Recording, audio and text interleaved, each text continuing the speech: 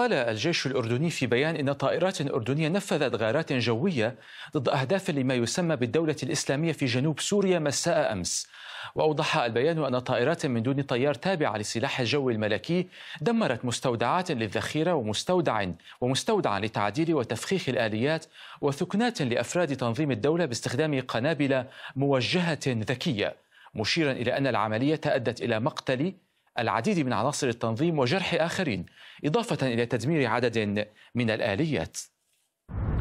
معي من العاصمة الأردنية عمان الكاتب الصحفي محمد فضيلت سيد محمد بيان الجيش الأردني كان مقتضبا. هل نعرف مزيدا من التفاصيل عن العملية لو سمحت؟ يعني العملية كما هو يعني متاح حتى الآن أنها استهدفت الجنوب السوري أي المتاخم بالحدود الشمالية الأردنية وهي تأتي كخطوة استباقية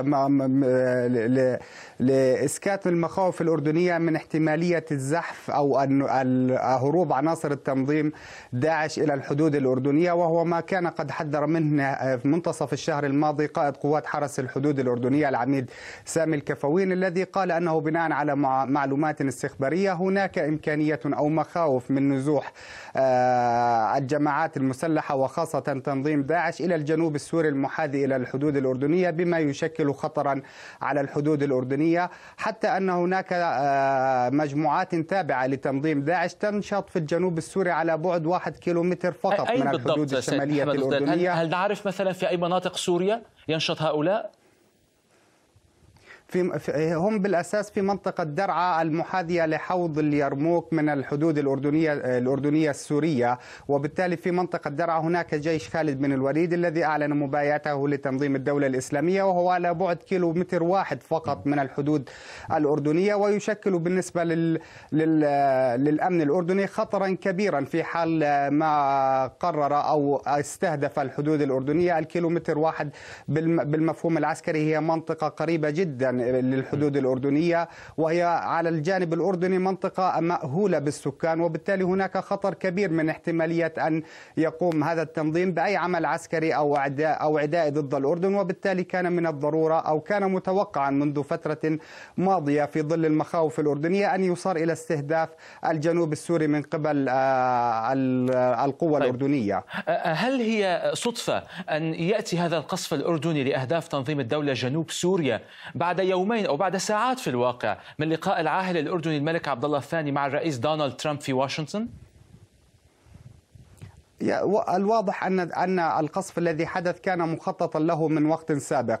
المهم ليس هو اللقاء مع دونالد ترامب في واشنطن لكن الذكرى الذي تزامن معها القصف وما وهي دلالة على وجود تخطيط مسبق وهي الذكرى الثانية لاغتيال أو لإعدام الطيار الأردني معاذ الكساسبه الذي سقط في ديسمبر 2014 اسيرا في يد تنظيم تنظيم داعش أثناء عملية في آه، عملية ضد التنظيم في منطقة الرقة ضمن صفوف التحالف الدولي آه، التحالف الدولي للحرب على التنظيم. وبالتالي العملية العملية التي حدثت أمس تزامنت مع الذكرى السنوية الثانية لاغتياله في 3 فبراير 2015 وهي رسالة قوية آه، من قبل تحمل رمزية كبيرة من قبل الجيش الأردني أنها أن هذه العملية تأتي بالتزامن مع بالتزامن مع ذكرى استشهاد معاذ طيب. الكساسبة وهي رسالة ثأر آه، من التنظيم على على ما قام به. وبالتالي فإن العملية يبدو أنه مخطط لها منذ وقت طويل. لكن المهم في في العملية أنه على غير العادة وخلافا للمرات السابقة التي كان يصدر فيها بيانات حول مشاركة الأردن في عمليات ضد داعش كانت غالبية البيانات تتحدث عن أن هذا هذه المشاركة تأتي ضمن التحالف الدولي للحرب على الإرهاب الذي تقوده أمريكا. لكن هذا البيان خلا من أي إشارة طيب. إذا سيد محمد إلى ما, إذا ما كان هو من ضمن التحالف نعم. هل تعتقد هذه الرسالة أو الرسائل التي أراد الأردن توجيهها إلى من يهمه الأمر جرى تنسيقها مع نظام بشار الأسد؟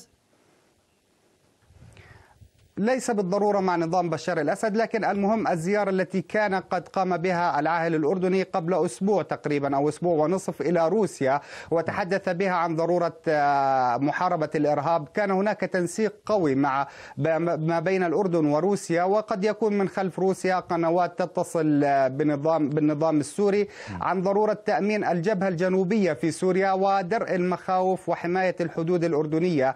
فخلو البيان من الإشارة إلى التحالف الدولي الذي تقوده أمريكا والتنسيق المسبق ما بين الأردن وروسيا لحماية لضبط الجبهة الجنوبية وهذه أول مرة تنشط فيها القوى الأردنية في الجبهة الجنوبية بهذه القوة والعنف نعم. ضد التنظيم. يعطي دلالة أن هذا أن هذا أن ما حدث كان أقرب إلى إلى التنسيق مع روسيا منه إلى التنسيق مع أمريكا. شكرا لك الكاتب الصحفي محمد فضيلات في عمان.